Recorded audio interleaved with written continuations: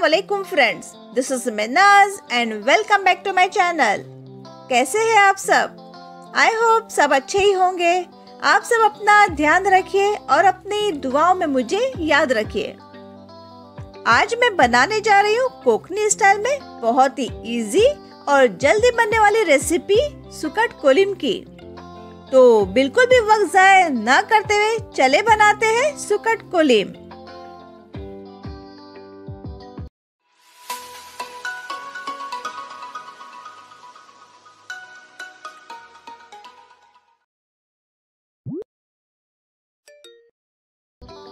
बिस्मिल्लाह से शुरू करते हैं। सबसे पहले एक पैन में या फिर तवे पर दो कप सुकट कोलिम, जिसे कुछ लोग सूखा जवला भी बोलते हैं। तो इसे हमें मीडियम टू लो फ्लेम पर हल्की हल्की खुशबू आने तक भून लेना है। चम्मच से इसे कंटिन्यूसली हिलाते रहे, ध्यान रहे, कहीं से ये जले नहीं, क्योंकि ये जल्दी भुना जाता है।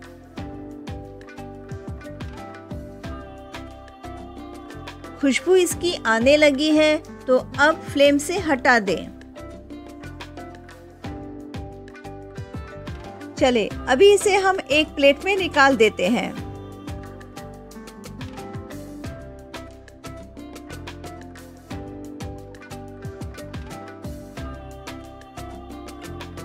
अब एक पैन में two and half tablespoon तेल डाल दें। फ्लेम को हमने मीडियम पर ही रखा है। और हम लेंगे टू मीडियम साइज़ के प्याज इस तरह कट करके। चार से पाँच हरी मिर्च को भी कट करके ले।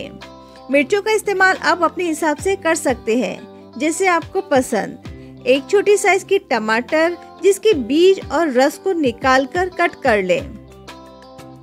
और आठ से दस कड़ी पत्ता। तेल हमारा गरम हो चुका है, अब इसमें हम कट किए हुए प्याज को डाल देंगे। इसे अच्छे से मिला लें। और हाँ हसबे जायका नमक डालना ना भूलें। प्याज अपना रंग जब बदलने लगेगा, तब इसमें कुछ और मसाले ऐड कर लेंगे।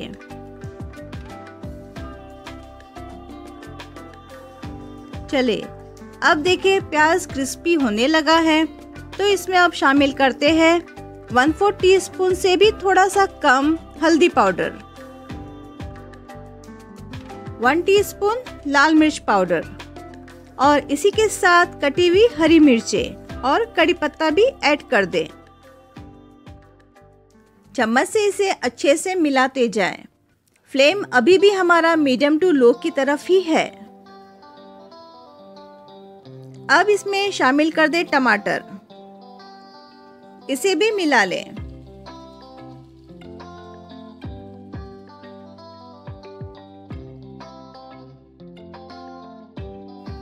अच्छे से मिला लेने के बाद भुना हुआ कोलिम डाल दें।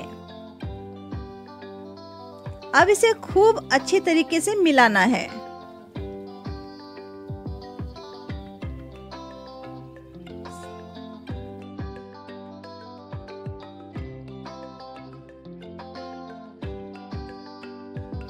बस अब एक से दो मिनट के बाद फ्लेम को ऑफ़ कर लें।